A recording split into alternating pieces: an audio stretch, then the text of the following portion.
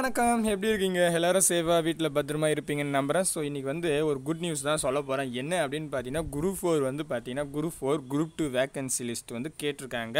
So அதை பற்றி தான் ஒரு எப்பவுமே நம்ம ப்ரூப்போடு ப்ரூஃபோடு காமிப்போம் இல்லையா? அதுக்காக தான் ஒரு ப்ரூஃபோடு கையில் எடுத்துன்னு வந்து காமிக்கிறேன். ஸோ தயவு செஞ்சு ஸ்கிப் பண்ணாமல் ஃபுல் வீடியோ பாருங்கள் இந்த சேனலுக்கு புதுசாக இருக்கிறவங்க சப்ஸ்கிரைப் பண்ணிங்க. கூட பக்கத்தில் இருக்கிற பெல் ஐக்கனை ப்ரெஸ் பண்ணி ஆல் நோட்டிஃபிகேஷன் செலக்ட் பண்ணால் நம்ம போகிற வீடியோ உடனுக்குடன் வரும். இந்த வீடியோ பிடிச்சிருந்தா லைக் பண்ணுங்கள் உங்கள் ஃப்ரெண்ட்ஸுக்கு ஷேர் பண்ணுங்கள் பிடிக்கலாம் டிஸ்லைக் பண்ணுங்கள் ஒன்றும் பிரச்சனை கிடையாது. ஸோ என்னென்னா இந்த வருஷம் ரெண்டாயிரத்தி இருபதில் வந்து குரூப் ஃபோர் எக்ஸாம் குரூப் ஏதாவது எக்ஸாம் வைப்பாங்களா அப்படின்ற மாதிரியே நமக்கு மைண்ட் செட்டப் இருக்கும். எல்லாருக்கும் வந்து லாக் பண்ணதால் ஜாலியாக வீட்டில் இருக்கீங்க. ஸோ வந்து ஜாலியாக இருக்கிறீங்களோ கஷ்டப்படுறீங்களோ அதை பற்றி நம்ம பேச விரும்பல.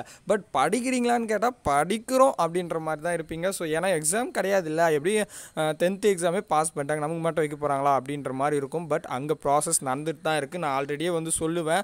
ஸோ இது மாதிரி வந்து பார்த்தா குரூப் ஃபோருக்கு வந்து மைண்ட்ஸ் இருக்கா இல்லையா அப்படின்ற பேச்சுவார்த்தை நடக்குது அப்படின்னு கூட நான் சொல்லியிருக்கேன். ஸோ அதை வச்சு கூட கிண்டல் பண்ணியிருந்தீங்க நீங்கள் ஸோ வரும்போது உங்களுக்கே தெரியும் அப்படின்றது தான். ஸோ இதில் வந்து பார்த்தீங்கன்னா நம்ம கலெக்டர் ஆஃபீஸுக்கு வந்து ஒரு லெட்ரு வந்திருக்குங்க.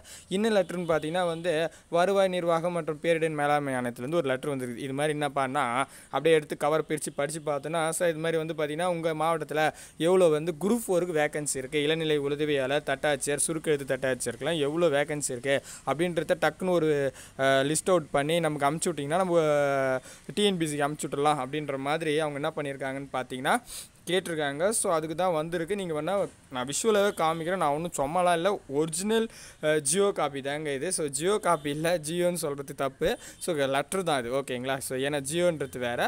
இது வந்து பார்த்தீங்கன்னா லெட்ரு அமைச்சிருக்காங்க. இது மாதிரி வந்து எவ்வளோ வேகன்சி இருக்குது அப்படின்னு. கண்டிப்பாக இப்போவும் நான் சொல்கிறேன் அடுத்த வருஷம் எலெக்ஷன் வருஷம். ஸோ எலெக்ஷன் வருஷன்றதால கன்ஃபார்மாக உங்களுக்கு வந்து பார்த்திங்கன்னா எக்ஸாம் வச்சுருவாங்க. ஸோ தயாராகிருங்க அதுக்கப்புறம் ஃபீல் பண்ணாதீங்க. நான் சொல்லிவிட்டேன். அப்புறம் வந்து ஐயோ அப்பயே சொன்னீங்களே அப்படின்னு நினச்சி நினச்சிக்காதீங்க சரிங்களா? ஸோ இந்த ஒரு லெட்டர் வந்துச்சு. அதுக்கப்புறம் பார்த்தீங்கன்னா இன்னொரு லெட்டர் வந்துச்சு. இன்னொரு லெட்டரில் என்ன இருக்குது அப்படின்னு பார்த்தீங்கன்னா இதையும் நம்ம திறந்து பார்க்கும்போது குரூப் டூக்கு எவ்வளோன்னு கேட்டிருக்காங்க. ஸோ குரூப் டூ போஸ்டிங் எவ்வளோ இருக்குது அப்படின்றதும் அவங்க வந்து கேட்டிருக்காங்க. ஸோ அதனால் நமக்கு இதுலேருந்து என்ன தெளிவ தெளிவாக தெரியுது அப்படின்னு பார்த்தீங்கன்னா டிஸ்பிளேயில் காமிச்சிட்டு தான் பேசிகிட்டு இருக்கேன். தெளிவாக என்ன தெரிய வருது அப்படின்னு கேட்டிங்கன்னா கண்டிப்பாக ரெண்டாயிரத்தி இருபது ரெண்டாயிரத்தி இருபத்தொன்னோட வேகன்சி லிஸ்ட் கேட்குறாங்கன்னா கண்டிப்பாக போட்டு போகிறாங்க அதாவது தமிழக அரசு வந்து புதுசாக உருவாக்க வேணாம் தான் சொன்னாங்க. இருக்கிற வேலைக்கு போகணும் இல்லைங்களா? ஸோ அதுவும் எலெக்ஷன் வருது இல்லையா? ஸோ அதனால் வந்து பார்த்தீங்கன்னா கன்ஃபார்மாக உங்களுக்கு வந்து எக்ஸாம் இந்த வருஷம் கண்டிப்பாக வரத்துக்கு வாய்ப்பு இருக்குது ஏன்னா இந்த மாதிரி ஒரு காப்பி வந்துட்டாவே அடுத்த கட்டம் என்ன பண்ணுவாங்கன்னா இவங்க வந்து பார்த்தீங்கன்னா நம்ம கலெக்டர் ஆஃபீஸில் என்ன பண்ணுவாங்கன்னா அதுக்கான துறையை சார்ந்தவர்கள் அதுக்கான லிஸ்ட்டை விட்டு எடுத்து அமுச்சு விட்ருவாங்க ஸோ அது கலெக்ட் பண்ணிவிட்டு அவங்க என்ன பண்ணிவிடுவாங்க இவ்வளோ வேகன்சின்னு டிஎன்பிசி ஆஃபீஸுக்கு அமுச்சிடுவாங்க. டிஎன்பிசி ஆஃபீஸ் என்ன பண்ணணும்னா அதுக்கு வந்து அவங்க நோட்டிஃபிகேஷன் ரெடி பண்ணி வேலையை முடிச்சிடுவாங்க. ஸோ இதெல்லாம் பார்த்தீங்கன்னா நடக்கணும்னு நினச்சின்னா கரெக்டாக கடை கடன்னு ஒன் மந்தில் நடந்துடும் எல்லாமே. டக்குன்னு அடுத்த மாதம் கூட ரிலீஸ் பண்ணலாம். ஸோ ஆல்ரெடி வந்து டிஎன்பிசியே சொல்லியிருக்காங்க. என்ன சொல்லியிருக்காங்கன்னு பார்த்தீங்கன்னா நாங்கள் வந்து இந்த ஷோ இதுலாம் முடிச்சிட்டோம் லாக்டவுன்லாம் முடிச்சிட்டா நாங்கள் ஒரு மாதத்துலேயே கூட வந்து வேக வேகமாக நடத்திடுவோம் ஒர்க்கு அப்படின்னு சொல்லியிருக்காங்க. ஆல்ரெடி குரூப் ஒன்று நடக்கிறதுக்கு நிறைய வாய்ப்புகள் இருக்குது. பட் இப்போதைக்கு லாக்டவுன் தான் நமக்கு பிரச்சனை. பட் லாக்டவுனில் வந்து உங்களுக்கு நல்ல விஷயம் தானே? ஒரு விஷயம் கட்டதாக இருந்தாலும் ஒரு விஷயம் நல்லது தான் இருக்குது. ஸோ என்ன விஷயம் அப்படின்னு பார்த்தீங்கன்னா நீங்கள் வீட்டில் இருக்கீங்க. ஸோ அழகாக படிக்கலாம். படிக்கிறதுக்கு நிறைய டைம் இருக்குது. ஸோ நீங்கள் படிக்கிறத விட்டுட்டீங்க அப்படின்னா உங்களுடைய ஃப்ரெண்ட்ஸ் எல்லாருமே படிக்க ஆரம்பிச்சிட்டாங்க. எல்லாருமே நீங்கள் வந்து பார்த்தீங்கன்னா உங்களுக்கு ந அதாவது லட்சக்கணக்கான பேர் இருக்காங்க. லட்சக்கணக்கான பேர் வேலை இல்லாமல் இருக்காங்க. ஸோ அவங்களாம் என்ன தா தாட்டினா கவர்மெண்ட் ஒரு வேலைக்கு போய் இல்லாமல் கவர்மெண்ட் வேலைக்குன்னு அவங்க என்ன பண்ணுறாங்க படிக்க ஆரம்பிச்சிட்டாங்க. ஸோ அதனால் மூச்சிருங்க மூச்சிருங்க அப்படின்னு தான் நானும் மறுபடியும் மறுபடியும் சொல்கிற பிரதர் சிஸ்டர் ஸோ வந்து பார்த்தீங்கன்னா டைம் இருக்கும்போது கடகடன்னு வேலையெல்லாம் முடிச்சுங்க. நம்ம நம்ம சேனலே நீங்களே பார்த்துருப்பீங்க. டெய்லி டெய்லி நான் முடிஞ்ச அளவுக்கு நூறு கொஷின் போட்டு தான் இருக்கேன். நீங்கள் பிடிக்குது படிக்குது படிக்கலை என் அதெல்லாம் நான் பார்க்கறதில்ல. எனக்கு தேவை டெய்லி நான் போட்டுடணும். நோட்டிஃபிகேஷன் வரதுக்கு முன்னாடிலாம் ஒரு ஒரு பாஸ் மார்க்காவது வாங்குற மாதிரி ஏதாச்சும் பண்ணிடணும்னு நாங்கள் வந்து இவ்வளோ எடுப்பெடுத்து செஞ்சிட்ருக்கோம்.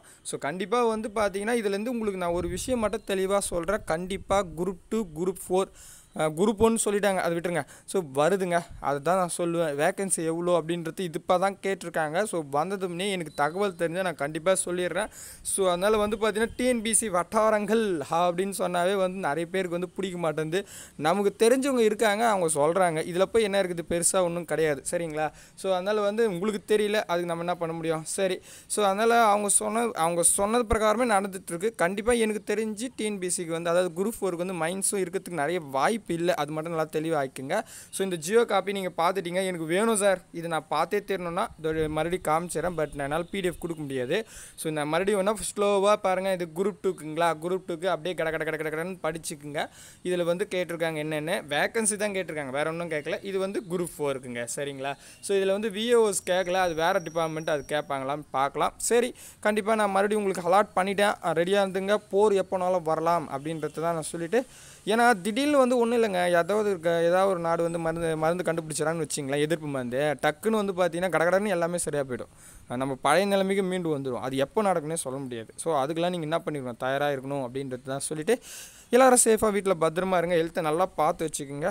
நம்ம ஏன்னா எக்ஸாம் எழுதுறதுக்கு ஹெல்த் தான் ரொம்ப இம்பார்ட்டன்ட் ஸோ இன்னொரு வீடியோவில் சந்திக்கலாம். பாய் பிரதர் அண்ட் சிஸ்டர் மறுபடியும் மறுபடியும் இன்டிமேஷன் பண்ணிட்டேன். ரெடியாக இருங்க.